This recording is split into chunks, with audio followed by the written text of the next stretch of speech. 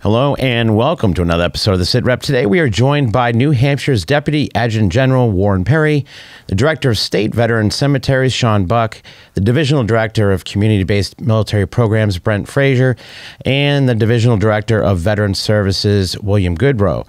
But before we discuss veterans benefits in New Hampshire, do us a favor and hit that like button and subscribe, which helps the sit rep with connecting veterans with the benefits they have earned and deserve. Warren, thanks so much for joining us on the sit rep today. It's my pleasure to be here. Thanks for having us. And so, for the people that are in the audience right now that might not be familiar with the state of New Hampshire, and it's the Department of Veteran Services, right? Well, it's the Department of Military Affairs and Veteran Services. So Okay. this is the title we have, and we we distinctly made uh, sure that we separated ourselves from any confusion that, that we might be the VA. So we have Military Affairs and Veteran Services in our title. And that's kind of why we chose that. I know that must happen a lot. They come to you for federal benefits, which you guys can help out with, right? Absolutely, that's one of the things we do. Is uh, you know, Mr. Gaudreau we'll talk about that a little bit later. Uh, that we connect people to those benefits that they've earned by virtue of their service, whether they're federal or state benefits. So, as I understand it, your, your department is similar to the Department of Veterans Affairs on the federal side. Um, but understanding that, what services do you guys offer exactly? So I I think it's it's important to say that uh, very very recently in the state of New Hampshire we had a change, right? So we had a uh, there wasn't one single place that we could that veterans could go and find services. So back in 2019, uh, the governor, along with the state legislature, decided to create the department, and we merged into the department the Division of Veteran Services, run by Mr. Gaudreau, and the Division of Community-Based Military Programs. We already were administering the cemetery, so those are the that's how we're made up. Relatively new in about 2019 that that happened.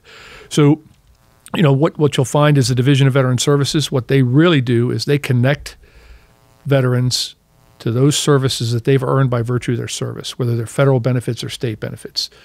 About 90% of their work really is about helping veterans process their VA claims. So that's really where Bill shines. Uh, what I tell veterans when they when they talk to me is I ask them if they've, you know, are they connected to the VA? Are they do they have a VA claim in? Are they connected to services? And if they say no, I say, well, look, if you're going to do that, get an advocate, and Bill is that advocate for them. You know, they may process one or two VA claims or, or an appeal in their life. You know, that Bill does 30 a day. So it's really important for them to go. The Division of Community-Based Community-Based Military Programs, you know, that Brent runs, really they husband all of the community programs that may offer services or resources to veterans. So he really isn't a veteran facing organization. He really is kind of herding the cats to make sure that if anybody provides services to veterans, that they are pulling the rope all in the same direction. And that's really what his his job is. And really in New Hampshire, it's important to, to note that everything happens in a grassroots level, kind of a small state. You know, everybody pulls themselves up by their bootstraps. So being able to coordinate community resources, whether they're private resources, nonprofit resources, or business resources, to have them all pulling in the same direction to help veterans, really, really important. And then the third thing that we do is we run the veteran cemetery, which is one of the most important benefits that we have to recognize and honor the service of, of veterans in New Hampshire. So those are the that's really kind of the the biggest three things, the biggest three rocks. Now, So, I, I guess it's become easier then. It's basically one stop shopping now. There's Yes. one location at least where somebody can go and get pointed in the other directions as, as may need be. That, that that's the way we look at it, right? So, but we also have kind of a many door concept. So, no matter what door you enter, you can find the services Right. that we have here. So, not only is there one one belly button that we can push to make sure that veterans are getting taken care of, but there are also many ways to enter into that system, many doors. No wrong door is one of the one of the things that we say in New Hampshire. So, yes, that's that's a good way to look at it. So, one place to go, and I think for for those people who are needing assistance, if they reach out to their state legislature or they reach out to the governor's office, the governor has one belly button he can push, and that's the adjutant general, who is also in charge of the National Guard in the state of New Hampshire. So he's kind of dual hatted in that role. And so, before we get into the different divisions uh, with some of the gentlemen that have joined you, uh, Bill, Brent, and Shawn, and I understand that Bill's going to probably speak more about this, uh, but I know it's something that's really important to you and to your department, and that's claim sharks. What do we have to say about claim sharks? So I, I think I think it's important that veterans know that they can get these services for free. And if it should be a red flag for them if anybody is going to charge them any percentage of any claim that's awarded right. by the VA or charge them for services to get connected with the VA and get their claims processed. That's a real to me if if that that should be the first biggest red flag that that veterans have when they're trying to navigate this process. We all know it's a complicated process. The VA is a big system. and they have rules we have to follow.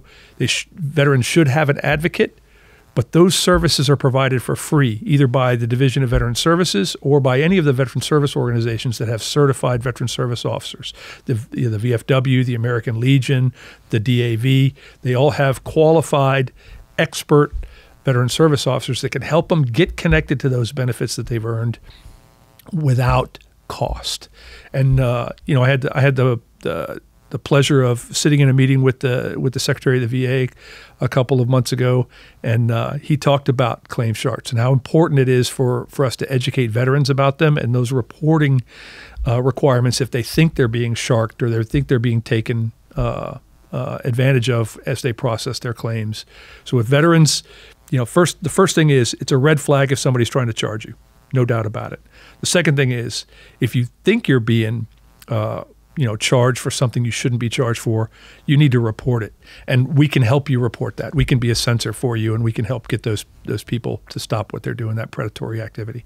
So as a recommendation to contact your yep. department absolutely. you guys will help. Absolutely. We'll help. First of all we'll help report the, the activity the claim shark activity. Second of all we'll get you the services for free. I think that's a critical point that many veterans feel, especially in the appeal process. You shouldn't be paying part of your claim to get your claim. And that's correct. And and our guys are experts. I mean, we we touch about about 3,000, well, about 2,500 veterans a month we touch um, in Bill's department. You know, whether it's an email or a phone call, we generally process or, or meet with veterans about 125, somewhere between 125 and 200 times a month in terms of appointments. They're really good at their job. They know what needs to be on the claims. They know how to get the to make sure that we're maximizing the benefits that have been earned for those veterans. And we don't need to hire somebody and pay for that. We have like rehearsed, trained, experienced experts that can get that done for you for free. Warren, I thank you so much for making the trip down. I think we're going to start diving into the various benefits you guys provide. Yeah, we're really proud of our team in New Hampshire, and uh, we hope this is, uh, you know, this educational process that uh, you're you're giving us an opportunity to reach out to all the veterans and let them know what we do. So we really appreciate the opportunity to be here. Thank you. So, Bill, welcome to the show. Uh, thanks for being here. Uh, if, if, you can, before we dive into some of the nuances of what it is that your division or department does, uh, at a macro level, what is what is your part of military affairs and veteran services all about? Uh, thank you very very much for the invite uh, for for this. Um, we're the veteran services piece of that. So, with Department of Military Affairs and Veteran Services, we're the veteran services piece. Um, and our target and our goal and our mission is to help veterans and their spouses uh, and their family members connect with services they've earned through their service. Uh, and that could be federal services, it could be local services. And so you just, doesn't matter what it is, whether it's state or federal or what have you, you guys are willing to step in and help them out. Correct. Um, I mean, there are obviously some things we do really good, and other things that you know. For example, legal services is not something we, we offer. We're not legals. We're not lawyers. We don't have any lawyers assigned to the the agency. So if you're coming for a legal service like a will or something like that, we would have to direct you to to the community to, for for those types of services. So, like I said, there are things that we do really good, and there are things that we you know we have to direct people out back out into the community for.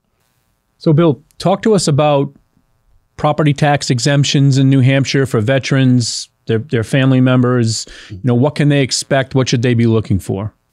Uh, yeah, so they, we do have property taxes for veterans. Um, the property tax credits, there's multiple types of credits that we have within the state. Uh, there's the standard tax credit, uh, there's an all veterans tax credit, and then there's the tax credits for the permanent total uh, disabled veterans. Um, the standard tax credits up to $750 the all veterans tax credit's also up to 750 and then the uh, permanent total tax credit is up to 4000 those tax credits really dependent some of them are depending on where you live in the state as to what the what the uh, dollar amount will be. I highly recommend anybody who's looking to move into the state of New Hampshire, maybe looking for a place to live and maybe doesn't have a, a, specific place they're looking for and they're shopping around to go onto the Department of Revenue Administration's website and look at the tax credits that are being offered so they can find out what cities offer the highest tax credits. So I think that's an important point um, in that it's not a once over state of New Hampshire tax credit. It's each each individual city and town kind of applies their own piece of that, Correct. and you have to know where you're going to live or where you're living, and then that help that dictates what that credit may or may not be. Right. And for like, for example, the permanent total tax credit, it's a big deal. Um, that's anywhere from $750 to $4,000. So it, it is a big deal to know where you're going to be moving, whether or not that town recognizes and acknowledges the maximum of the benefit. What about educational benefits? Are there any educational benefits that exist for veteran service members or maybe even their dependents? Uh, certainly. I mean, so uh, veterans coming out of the military, they have access to their GI Bill, you know, Montgomery GI Bill, post 9 11, those things. Of course, you can always access those through the states, and, and, the, and the schools are willing to accept those benefits. Specifically, when the state of New Hampshire, as far as coming from taxpayer dollars, we offer uh, benefits to the children of veterans who are 100% permanently totally disabled. And those would be uh, basically tuition and some um, some financial benefits like a like a stipend for those that are going to state schools. So it's only state schools, the, the state paid for schools, UNH, Keene State, uh, Granite State College, s- schools like that that are paid for uh, by the state. What about types of um, employment assistance that are offered to veterans uh, or their or their families? From the perspective of veteran services from the agency, we don't do much when it comes to employment. I do get contacted quite frequently by employers looking to employ veterans. And then I get contacted by veterans in some cases looking for employment. And we direct them to the state's New Hampshire employment security system. Within that system, they do have at each of the employment security offices, they do have staff members there that are trained to help veterans. Uh, they have disabled uh, veterans, uh, staff members that help disabled veterans find appropriate positions for them. So we rely on the state's New Hampshire, the New Hampshire employment security system to to help that. Uh, and I know a benefit that a lot of states offer, and I'm assuming that New Hampshire probably also offers, is with the Department of Motor Vehicles. Uh, wh- what kind of things can veterans and their families expect from the DMV? It- It's really dependent. Uh, a lot of our benefits, uh, benefits are dependent on the veteran and service discharge level and maybe what disabilities that you have. Uh, for just your average veteran coming out of the military, we have veterans plates. So uh, you drive around the state, you'll see the V plate. Uh, in addition to the V plate, we also have decal plates where you can get a decal from your service. So if you're Army, you can Army decal um, that you can place on the plate. So we have those plates specifically for the generic everyday average veteran. Then we have the plates for veterans who are permanently totally disabled, uh, where they get to get a uh, disabled placard for their vehicle. And there's also, uh, from the perspective of DMV, if you're 100% permanently totally disabled, there's also the possibility to get uh, one vehicle registered for free. What types of benefits does New Hampshire offer um, in regards to like recreation, hunting, fishing, you know, whitewater rafting, skiing? Right. Again, like I stated before, uh, most of our benefits are really going to be dependent on on the level of discharge, uh, but we have access to to state parks. Um, we have access to fishing, um, reduced costs for fishing licenses, hunting licenses, and again, but a lot of those do depend on the status of your your dis- disabilities. Um, so. I highly recommend for most of our state benefits to go to our website, uh, the DMAVS website, which which www.dmavs newhampshire.gov and surf around that. Go to Veteran Services part of that website, and it does break out all of the state's benefits. So I was pouring through uh, your website and I noticed a benefit that probably very few veterans in New Hampshire know about, uh, and that is the fact that you guys have bonuses. Correct. So the state offers uh, pass through legislation a hundred dollar bonus for those who served in uh, Vietnam, those who served in um, the post the post 9/11 Gulf War, uh, and also those who were in support of the global war on terrorism. Um, that is administered through the state, but the applications come through my office. So uh, again, if you go to our website, you'll find the application on the website. So fill out an application, get it to my office, and we'll go ahead and get it submitted to the state for you. And we will make sure to have that website linked in the video description below. So, does New Hampshire have veteran service officers in each of the cities and towns, or in the in the counties, and and what are their duties, and how can they assist veterans? So I, I, like to establish the who's who in the zoo when I talk to veterans and when it comes to veteran services and organizations that do what we do. Uh, so it's important to understand that in the state we have the standard national organizations. We've got the American Legion, the VFW, the DAV. They have service officers that will help veterans. We are state level, so we work for the governor and our service officers. We vary a little bit from the national level folks in that I have service officers that are planted at locations throughout the state, whereas the national level service officers are all located in Manchester. So the veterans have to travel to Manchester to get their services. So my service officers, I have a service officer out in Keene. I have a service officer down in Nashua. I have one out in Portsmouth. I have two in Manchester, two in Concord that also service the North Country to include Berlin, Conway, Littleton, and Groveton. So we are we are embedded in the community, and we are we are in the state. And I know this will kind of speak to uh, what Warren had spoken about earlier uh, with regard to people that are trying to, uh, well, essentially claim sharks. What is it that your department is able to provide, or what they're able to assist with? So pretty much everything that those the sharks will be able to provide for you, we provide as well. So the biggest difference between us and them is we're not charging for that service. Um, and unfortunately, a lot of those organizations they try to get veterans into their organization through false advertising. Uh, one of the things they advertise is they can get veterans claims through the system faster, and that's just simply not possible. Uh, the VA has a process, and every veteran goes through that process and they don't look at who is the representative and go, oh, this is this company that's charging veterans. We need to get their claim done faster. No. So your claim's not going to get done any faster if you utilize one of these companies. In addition, they'll also claim that they're more successful uh, than, than a lot of the free service officers. And that's simply not true either. Um, we have our service officers are accredited, they're trained, they're, they're educated They've been through the process, many of them on their own for their own claims. So they're well versed and well experienced in how to do this. Um, some of the the ones out there that charge, they try to skirt around the, the, the recent law. The recent law is that you have to be an accredited uh, organization to do work for veterans. Um, and a lot of them skirt around that by offering life coaching.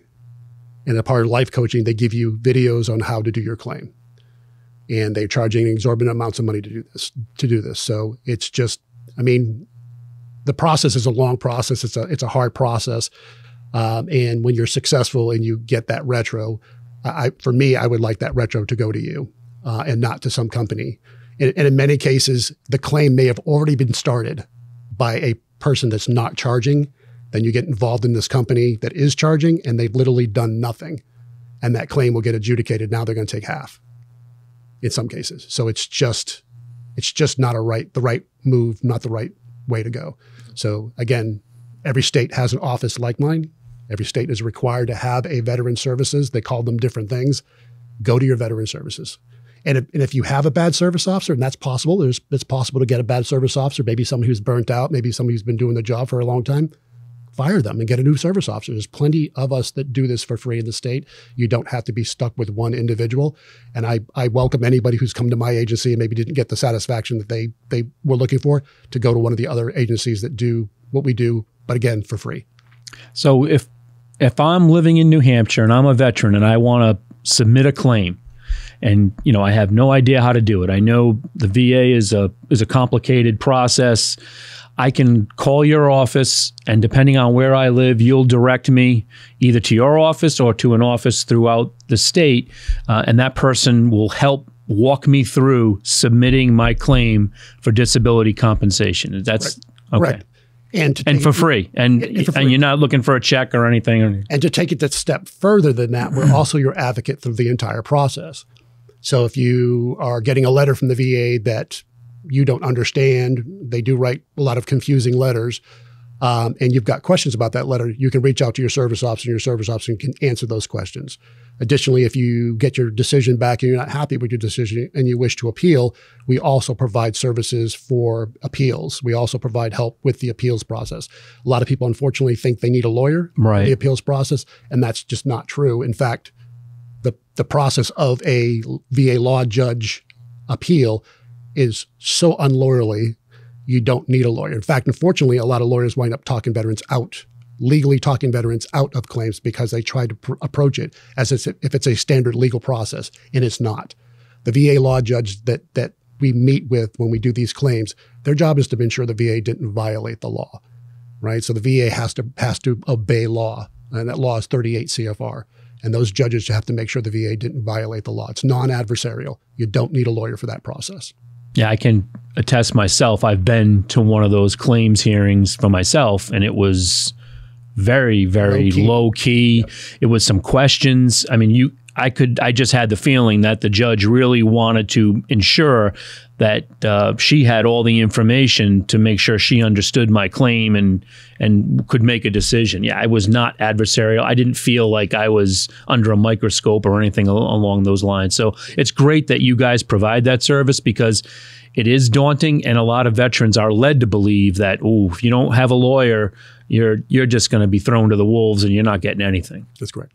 And so, for veterans and family members that are in the state of New Hampshire, what's the best thing for them to do to contact your office? How do they do it? So the way when I when I'm out doing I, I do presentations throughout the state. Um, you know, I, I I hear this phrase a lot when I deal with the veteran world, and that is, I got a veteran who's fallen through the cracks. And I, I don't believe in that. I don't believe fall, veterans fall through the cracks. I believe veterans. I believe veterans benefits is like this giant umbrella. We need to figure out how to get that veteran under the umbrella. So there's a variety of different benefits and a variety of different ways of doing that. If the individual is looking out and call, contacting me for for benefits, I would say in a lot of cases they can start contacting me directly for a question. And if at the end of that question I believe there's some services to be provided, I'll direct them in how to get that done. Right. So, for example, if it's just a simple question um, about whether or not somebody can apply, maybe they have a PACT Act related question, they can absolutely contact me, and I'll give them the the, the thirty thousand foot level. Let them know uh, whether or not I, I believe, based on what they're saying, they, they're qualifying or will qualify.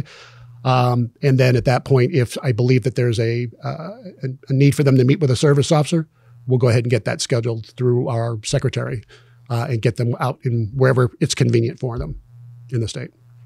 Awesome. Well, Bill, thanks so much for coming in on the show. Um, and for all you guys out in the audience, guys and gals, uh, check out the video description below. We'll have links, phone numbers, everything that you need in order to get in touch with Bill and his team. All right. So, Brent, thanks for uh, making the drive down and joining us on the sit rep. Absolutely. it is great to be here. What is New Hampshire's community based military programs? We're a relatively small organization within the State Department. Uh, it's made up of about uh, six people, uh, but it's a small team that really uh, punches above its weight across a number of different programs in support of service members, veterans, and their families.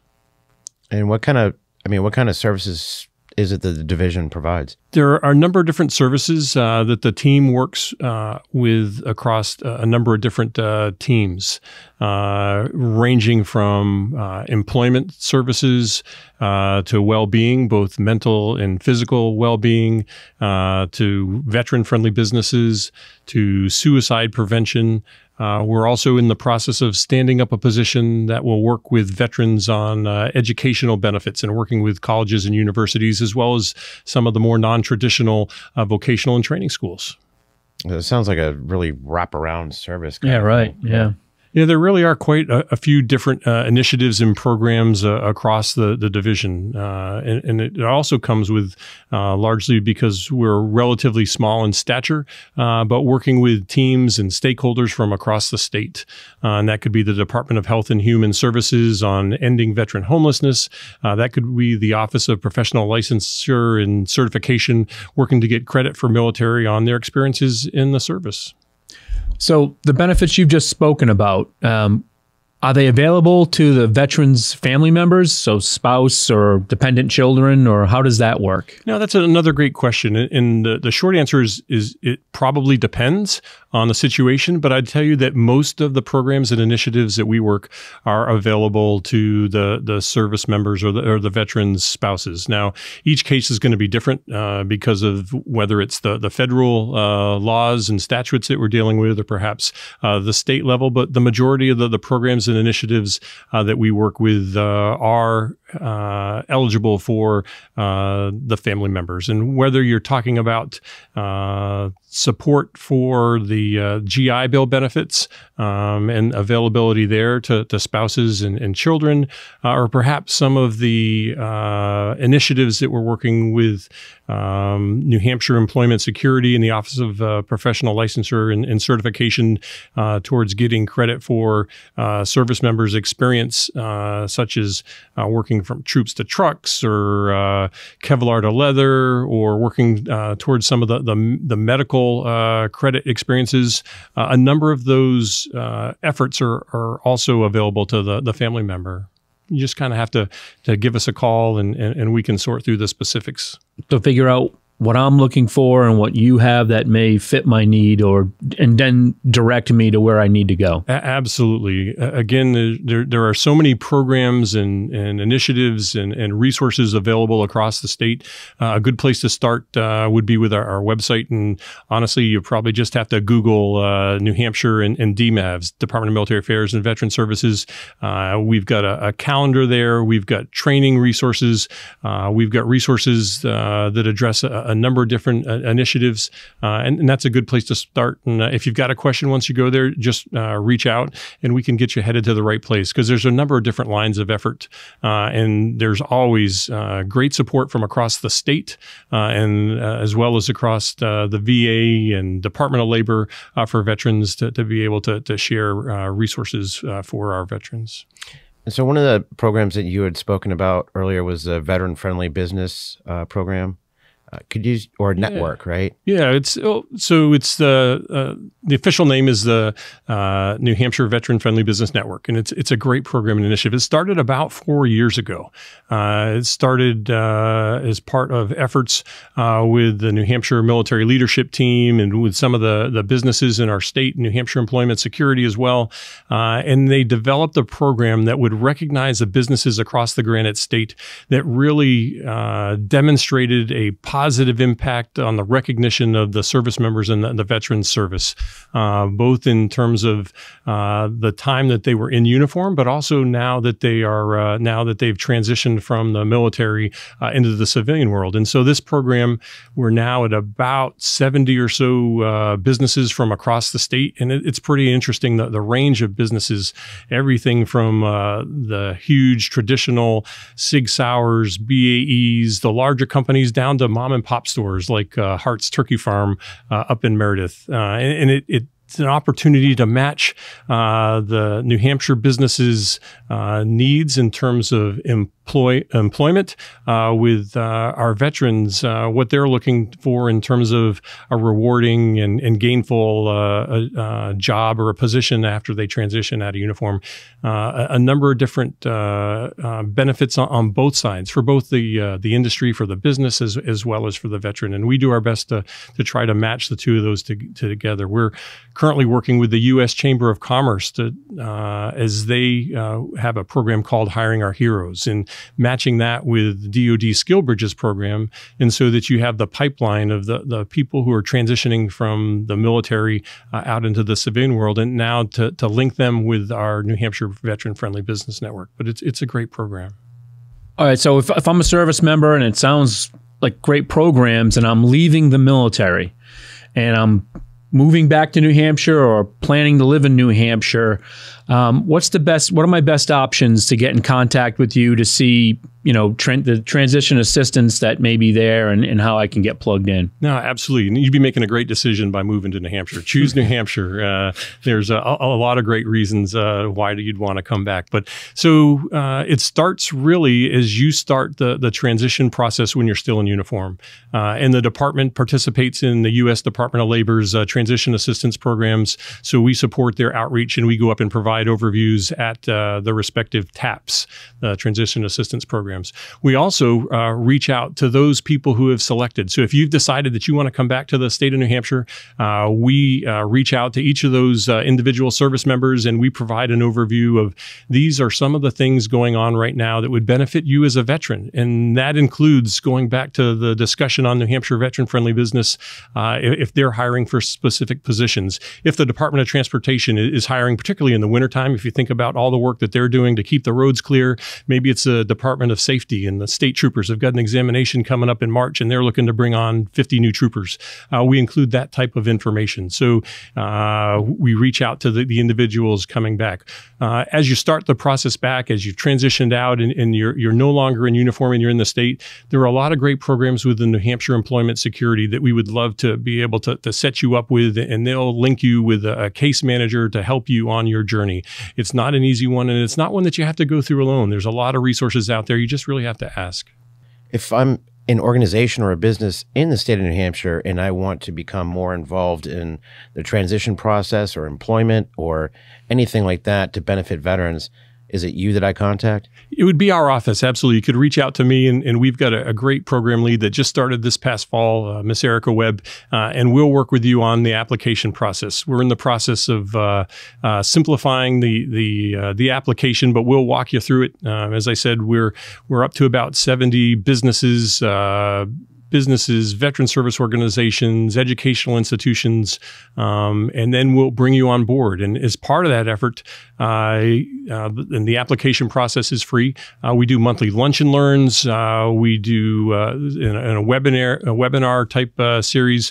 we've got a monthly newsletter. We've got a LinkedIn account specifically for the New Hampshire veterans friendly businesses.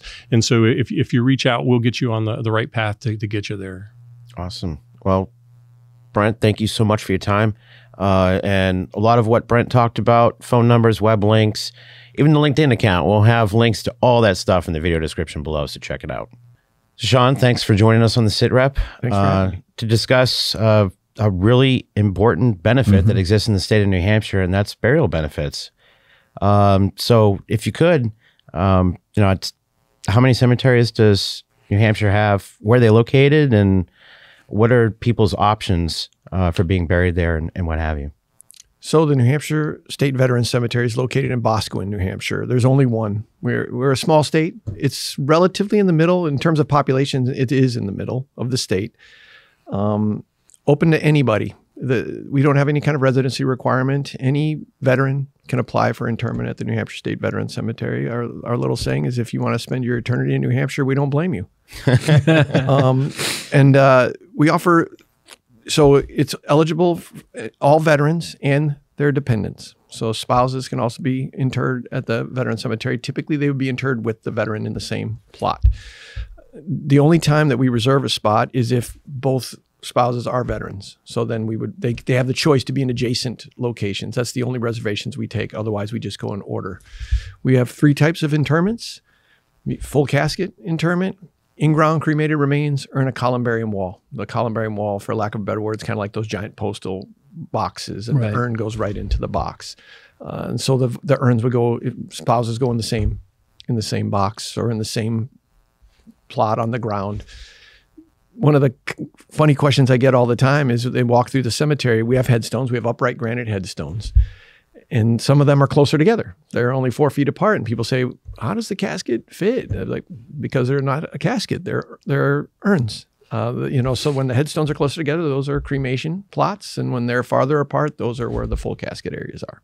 So that's essentially what we uh, offer at the New Hampshire State Veterans Cemetery. And one thing I tell people, and probably the most important thing, apply if you're a veteran, if you served in any service, any branch of the military, guard, reserves, active, it doesn't matter. Put in an application, give us your paperwork, and let us determine if you're eligible. Don't self select out. This is a benefit that you've earned. It's the last, we, met, we talked earlier, it's the last benefit that you'll use and you should take advantage of it mm-hmm. because there is no cost to the veteran to be buried at the New Hampshire State Veterans Cemetery or any cemetery, any uh, veteran cemetery in the country. So I think that's an important point you just you know kind of at the end there, and that is cost. I mean, it it's not cheap to to bury a loved one.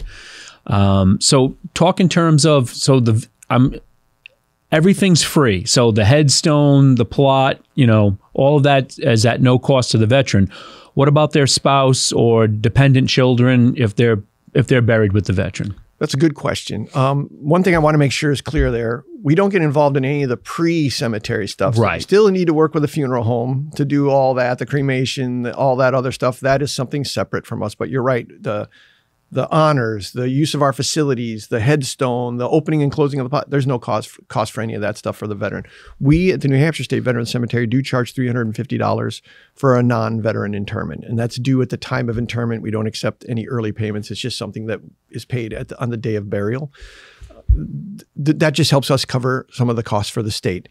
Really, the the way that the cemetery is able to operate is when a veteran is buried, we get a, a stipend from the VA for each veteran burial. That helps run the cemetery. So the way state veteran cemeteries work is we're federally funded. So when we do an expansion or we build new columbariums or a new the federal we apply to the federal government, the Fed, Veteran Cemetery Grants Program. They give us the money. The state of New Hampshire's portion is they pay for all of our salaries, all of our employees are state employees, and they cover any additional costs that aren't covered by the VA through their expansions or through their plot allowances. And then we also, like I said, we collect $350 for non-veteran interments. So, Shawn, we were speaking a little bit before we started the podcast, uh, and you were telling me that uh, through legislation, there's actually a new big change as of recent um, that is going to affect a lot of veterans, especially veterans in New Hampshire, because New Hampshire has tons of National Guard and reservists. Correct. Can you speak to that legislation, please? Yeah, super proud of this. So in 2022, in March, uh, President Biden signed an order that uh, it's called the Burial Equity for Guards and Reserves, which allows state and tribal veteran cemeteries to make the decision, if the state so chooses, to inter members of the Guard and Reserves. Prior to that, folks that would serve in the National Guard or the Army, or any of the military reserve components that were never activated and did not retire, they were not eligible. They weren't considered veterans. They did not earn this benefit. With this change in the law, with burial equity, the state of New Hampshire, and I'm proud of our state, we led this charge. Our legislators, our governor, they led this charge to make it so that members of the Guard and Reserves can be buried in the New Hampshire State Veterans Cemetery. There's a little bit different process they have to prove how long they're for, for in our state, and every state can set their own rules. But in New Hampshire, they have to complete their first term of enlistment and have an, a discharge that isn't dishonorable. So basically, a, an honorable or a general discharge, and you're eligible as long as you complete your first term of service and you can prove that. Then we give them that benefit. We do not get any stipend from the federal government for that. The state of New Hampshire covers it. So there's still no cost to the veteran, and there's still a $350 fee for the non-veteran. The other caveat to this is this we do not have a state residency requirement. We will bury anybody from any state in the union who served in the from anywhere, as long as they served in the United States military and they're eligible. But for members who only served in the Guard and Reserve, you have to be a New Hampshire resident when you pass and then there's no cost and $350. If you're not a New Hampshire resident, we will still inter you, but there is a fee for that equivalent to what this the federal stipend is at that time. At, at this moment, it's $950. So it'd be $950 for the veteran and $950 for the spouse. But um, yeah, that program, since we started it, we, we did our first interment on June 9th of 2022 and we've buried 73 members of the Guard and Reserves in the New That's Hampshire fantastic. Cemetery. because that is a big, big change that even the federal government doesn't currently uh, recognize. Correct. You know, those guards and reservists who, you know, you know, like we were talking earlier, maybe served 10, 12 years, you know, and during the Cold War, never deployed, Correct. you know, so don't have that active duty DD 214 or what have you, and didn't retire from the Guard or Reserves. Uh, but they basically qualify for no benefits. But now they, you know, they can be buried in New Hampshire um, if they so choose. That, that's that's a fantastic And we- benefit. We, treat them the same. There's not as people always will come in. Is there a special area? Well, I get this question all the time. Are the Army there? Or the Navy there? No, we're we're very egalitarian. We just bury next. Rank doesn't matter to us. Branch of service doesn't matter to us. Now that we've added burial equity, folks, so members of the Guard, they just go right next. And for us, the way we do it, if you served it, for example, the Army National Guard, your headstone just says Army. We don't we don't say you were in the National Guard or you were in the reserves, Army or Navy. So we're again we're really proud of that. We do our best to, to try to treat. They deserved it. They earned it. And in our state, there's not there's not a lot of active duty presidents in New Hampshire. So m- most people, if you see somebody in uniform, they are either in the Guard or the Reserves, or they're at least associated with the Guard or Reserves, other than recruiters, I guess. But um, yeah, so it's it's it's it's nothing but a positive for our state and for our citizens. that's fantastic. And so, if a veteran has already been buried prior to this law, Mm-hmm. are they able to contact you and say, "Hey, you know, we would really love for our loved one, our veteran, to be buried at the veteran cemetery opposed to where they currently are. Is that a possibility? Absolutely. Yeah, we do. Um, so whether it's active, du- no matter what, if you're a veteran and you're and you want to apply, even if that veteran's already passed, if the family member wants to put in the paperwork, they can disinter from whatever wherever they're at and have them interred in the New Hampshire State Veterans Cemetery. Again, each situation is unique, but that ha- it happens more than you'd think. Um, people move their loved ones from a civilian cemetery. Some people move from one other veteran. th- Their family moves and they move their loved one from a veteran cemetery in Florida to New Hampshire. Or from this happens pretty regularly throughout the year. Um, and every now and again, somebody leaves the New Hampshire Veteran Cemetery to go to some other cemetery. But yeah, absolutely. So if there's a somebody who wasn't eligible before, was turned down, and they buried they're buried someone else, that family can certainly apply and disinter those remains and bury them in the New Hampshire State Veteran Cemetery. Certainly. So is do you guys have the pre-need burial approval? You know, so that Yeah. you know, I don't want to say it's a reservation, but it's It it's is. similar to a reservation. No, it is a Your res- name is already at the cemetery, and all the funeral home director has to do is reach out when that day comes. The majority. So we have uh, about 10,900 veteran pre-approved applications in our files right now. So in fact, I encourage everyone do it. I when people come to visit the cemetery, I'm always I say you should apply if you're a veteran of the guard, reserves, active, it doesn't matter to me. Apply. Get this off the checklist. And now you know you're covered and tell your family. And in particular, I want want folks to do it before they get a bad diagnosis or they're sick or something, you know, because if that happens, you don't want to go to the cemetery and you kind of want to focus in on what you got to do. So I tell people, I've already done it. I'm already applied, and my wife and I and our kids know. And I encourage anybody get it done and over with. We will save your reservation. Tell your family that that's what you want, and then it's really a simple phone call to us. The the other thing we're really proud of in New Hampshire is you don't have to wait. We don't have some of the, some cemeteries you might have to wait two or three months to get uh, an interment appointment. Not with us. I mean, in general, we can schedule sometimes as quick as the next day. We prefer not to do that, but oftentimes we can do that.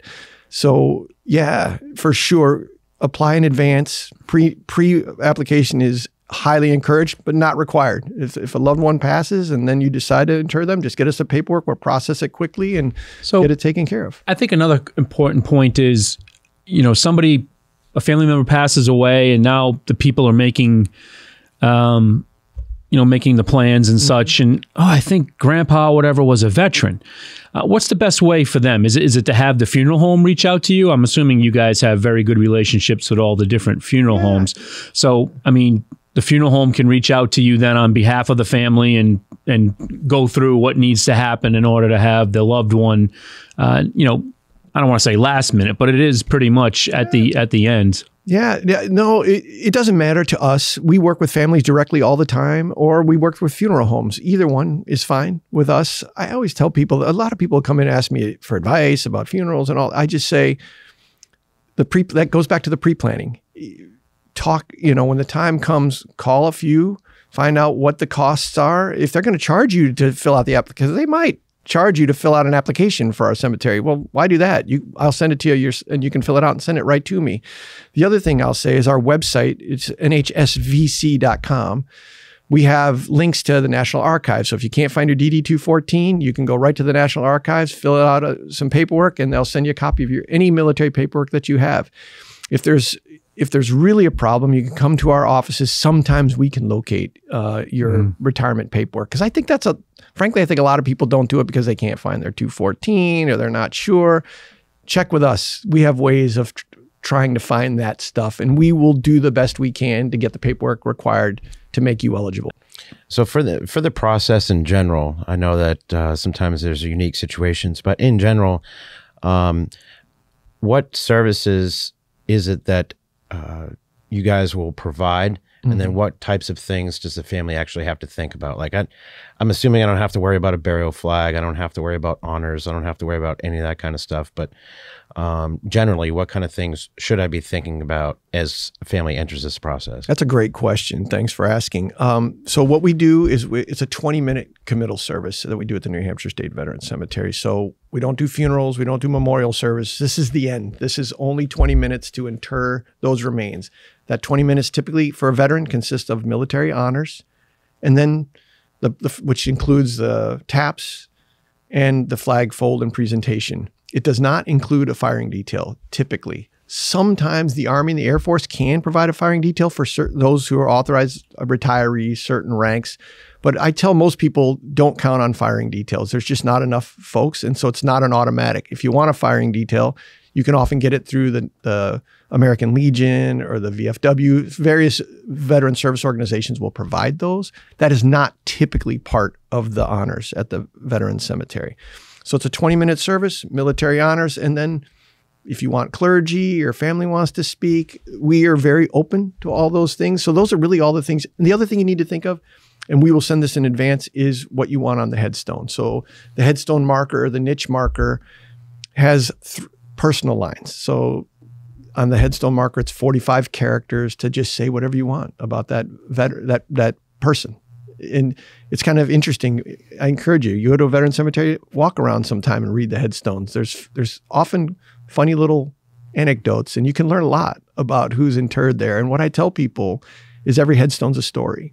And just that little 45 characters sometimes will spark something and then you might want to learn something more about that. We have we have we have some folks at the Veteran Cemetery who are amazing, Olympians and and heroes from every war. I, I mean, it's well, recent wars. We, we didn't open until 1997, uh, but there's just so many incredible stories. Now, do you guys do when you say memorial service, graveside or chapel? Great question. We do both. Both? Uh, but it's one or the other at, at our cemetery. Okay. So if you want it, I would say probably 90% of our services are at the graveside. Uh, obviously, when the weather's lousy, I there's was going to say, even in February. Uh, yes, honestly, yes.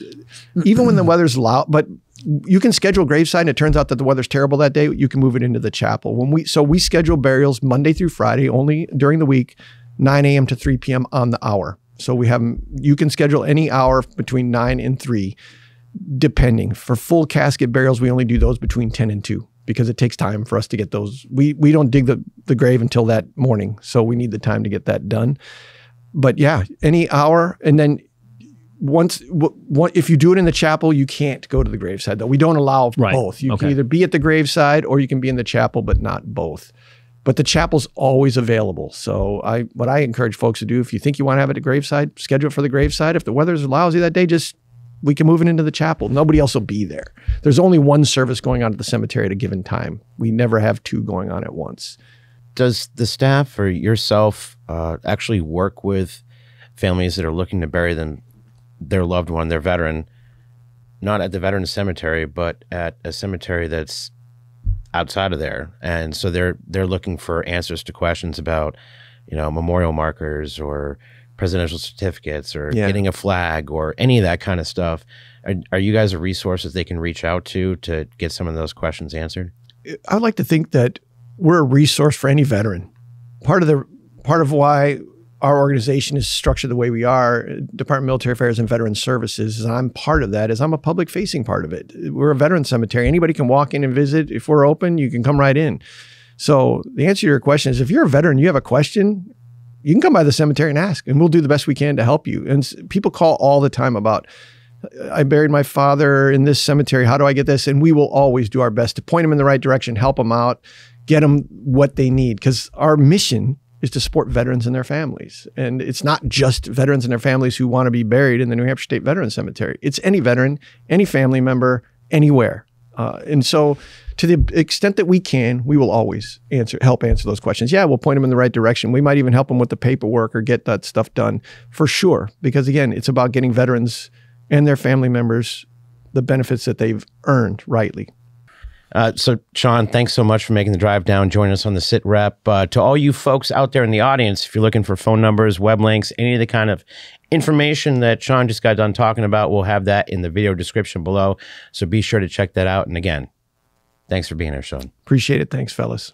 Hey folks, connecting with your benefits is our primary mission, and the SITREP is providing more options than ever. Subscribe to our free email newsletter, subscribe to our audio podcast channel, or subscribe to our content on YouTube. For details and links, check out the description below.